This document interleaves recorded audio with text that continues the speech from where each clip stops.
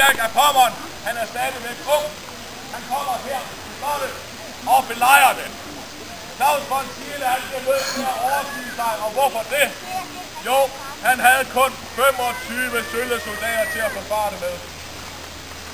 Det er det, der sker. Når man belejrer en borg, så får man jo alt muligt i hovedet op fra borgmuren. Det værer sig sten, kogende, olie, mekanier og diverse fine sager. Den her hjem lyder en god beskyttelse. Regner bare af. Her har vi ringbrynje, den fortsætter gennem hele middelalderperioden med at yde et godt forsvar. Hvert han bruger er stadigvæk en hugklinge, men nu er der også blevet en lille spids på, men kan også bryde igennem spidser på panser. Herover har vi en anden mand. Han er typisk klædt i en 1350 rustning. Han har en stor lædervest på her. Inde bag lædervesten er der pånyttet jernlameller.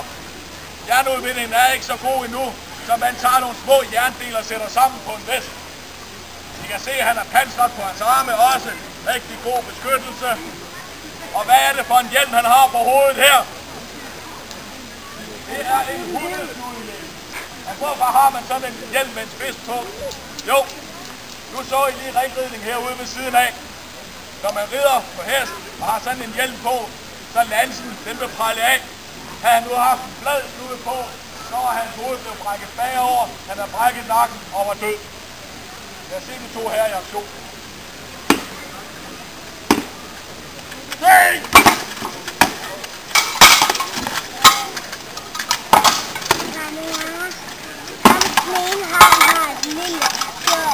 Ja. Ja, det går da virkelig pistol, de her. Kom, kom, kom. Ja, det må man sige, det er mand til mandkamp, det her.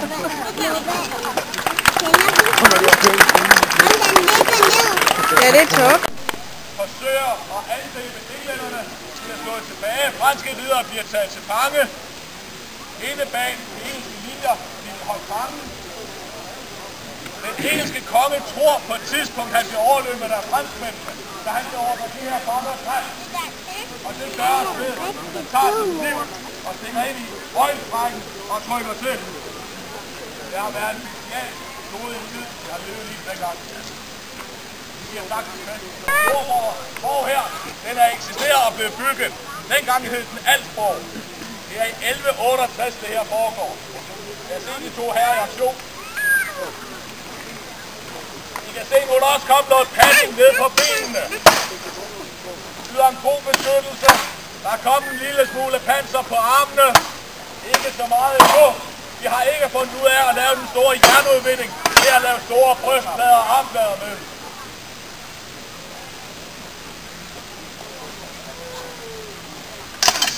Ah!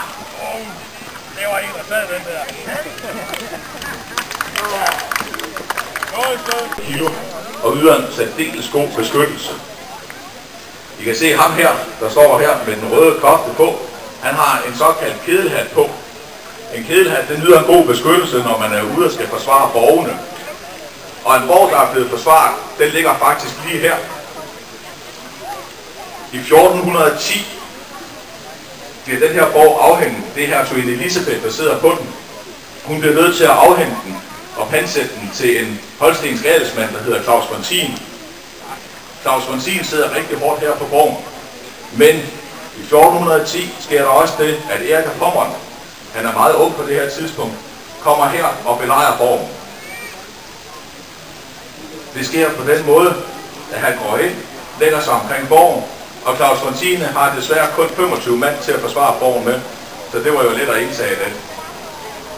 Der sker så et forlig i 1411, og den kære hertuginde Elisabeth får borgen tilbage ved hjælp af dronning Margrethes indgreb.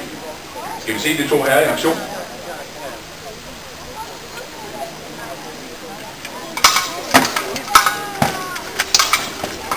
I kan se her, nu går der virkelig til stålet. Der bliver ikke sparet på kræfterne, der bliver ikke lagt fingre imellem. I kan se, at den mand han har også en hjelm, der er fuldstændig dækket til. Den bliver også brugt i ridderturneringer. Lansespidsen, det vil simpelthen prale af på hans hjelm.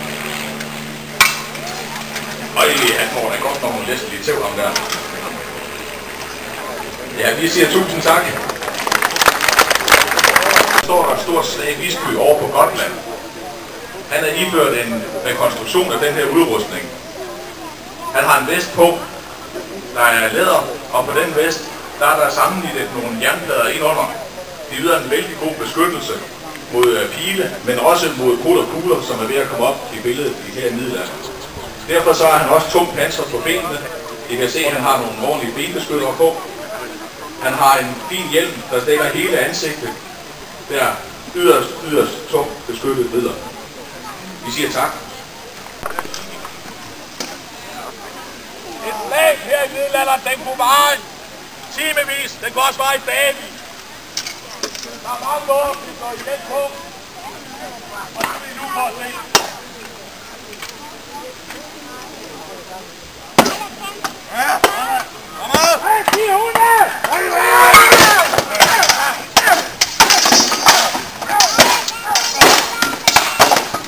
Den kamp, som holder lidt over og kan den verden i hele Europa på den sæt.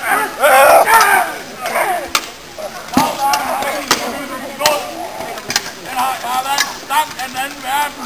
Der er opkast og maver, der er blevet sprøjtet op.